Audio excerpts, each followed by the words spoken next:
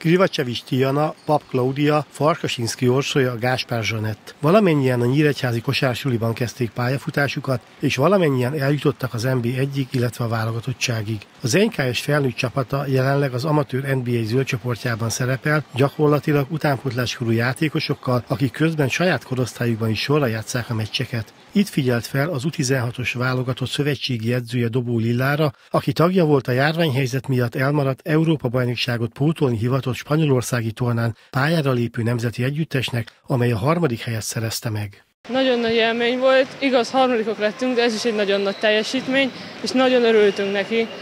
Ez felemelő érzés volt nemzetközi szinten ilyen nagy dolgot elérni. Ez így megalapozta azt, hogy motivált legyek, hogy van tovább, és hogy van hova fejlődni. Úgy nagyon sok hibát vettem észre magamon nemzetközi szinten, ezáltal hát tudom, mit kell javítanom, és hogyan.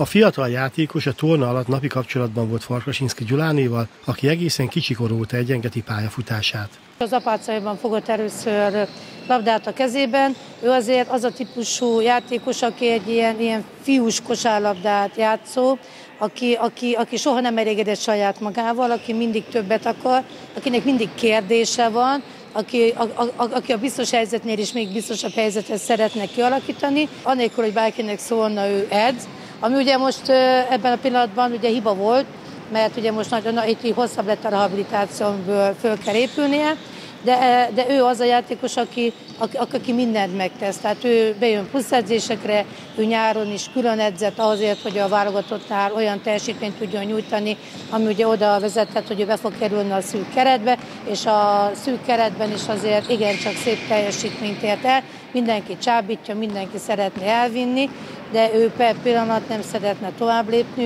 ő szeretné még a, a, talán a tudását véglegesíteni, vagy tovább csiszolni, és úgy tovább lépni. Tehát ő az, aki jó tanuló, zenél, és mindent megcsinál, tehát, tehát semmi nem marad ki az életéből, a kosárlabda az a központi szeret, de mellett nagyon sok minden másban is nagyon ügyes.